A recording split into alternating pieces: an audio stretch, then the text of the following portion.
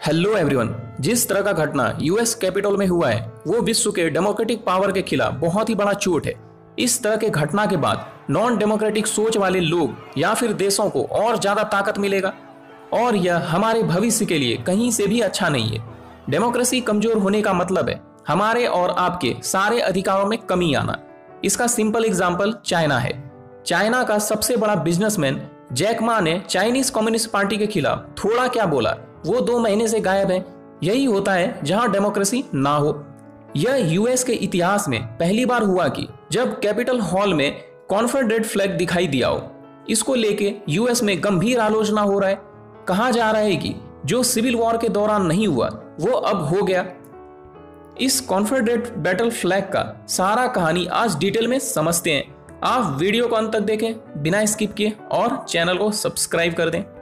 जैसा कि ट्रंप समर्थकों ने बुधवार को यूएस कैपिटल पे हमला किया, इस पूरे प्रदर्शन के दौरान एक प्रदर्शनकारी की छवि ने सबका ध्यान अपनी ओर आकर्षित कर लिया, क्योंकि यह पहला मौका था जब कैपिटल हॉल के अंदर कॉन्फेडरेट फ्लैग दिखाई दिया हो।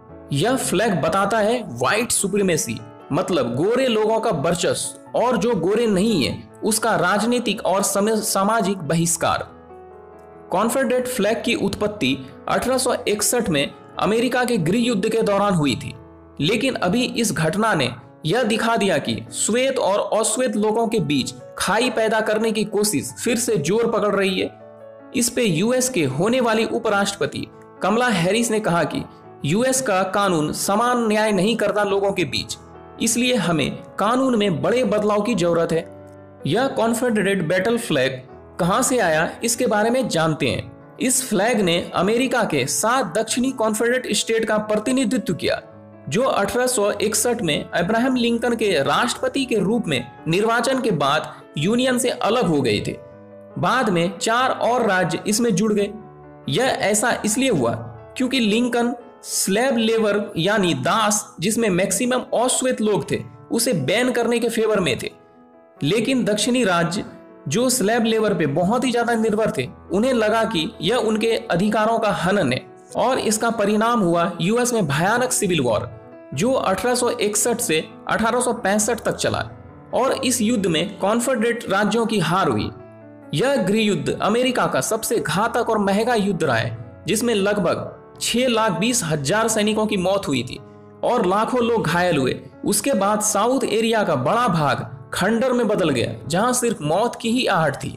अठारह में, जब यह युद्ध चल रहा था, लिंकन ने गुलामों को कॉन्फेडरेट स्टेट से मुक्त करने के लिए एक प्रारंभिक मुक्ति घोषणा जारी किया। यह प्रस्तावना अमेरिका में स्लेबरी को खत्म करने के में निर्णायक भूमिका निभाया। अठारह सौ पैंसठ तक एक लाख छियासी हज़ार के करीब छोड़ा गया अश्वेत गुलाम ने यूनियन आर्मी को ज्वाइन कर लिया। सिविल वॉर खत्म होने के बाद भी यह कॉन्फेडरेट फ्लैग चर्चा में बनते रहा है यूएस में और आज तक बनते रहता है। युद्ध समाप्ति होने के लगभग एक दशक बाद तक यूएस मिलिट्री ने साउथ के बड़े हिस्से पे कब्जा कर लिया, पुनर्निर्माण के नाम पर, और उसे यूनियन का पार्ट बना दिया। इसी सब वजह से गोरे लोगों में नाराज़गी भर गया और वो अभी भी कितने लोगों में भरी हुई है, क्योंकि गोरे लोगों को लगता है कि उनके अधिकार का हनन हुआ। सिविल वॉर के बाद यह फ्लैग कॉन्फेडरेट स्टेट के हार के कारण के रूप में दिखाया गया। लेकिन सदी के अंत तक यह कॉन्फेडरेट स्टेट के मारे गए लोगों के सम्मान का प्रतीक बन गया। अब आते हैं बीसवीं शताब्दी में। 1948 में हुआ ये कि डेमोक्रेटिक पार्टी में स्प्लिट हुआ और एक नए पार्टी का निर्माण हुआ, जिसका नाम था डिक्सिक्रैट। ये लोग चाहते थे कि यूएस में नस्ली अलगाववाद बना रहे। इसलिए ये लोग उस समय के प्रेसिडेंट हैरी एस. ट्रूमन के खिलाफ थे, क्योंकि प्रेसिडेंट चाहते थे कि अफ्रीकन अमेरिकन को सारे अधिकार मिले। इसलिए उस समय के इलेक्शन कैंपेन में कॉन्फेडरेट फ्लैग का जम के इस्तेमाल हुआ था। इसके बाद सिविल राइट मूवमेंट ने ज़ोर पकड़ लिया, जिसमें इस कॉन्फेडरेट फ्लैग सबसे प्रभावशाली था।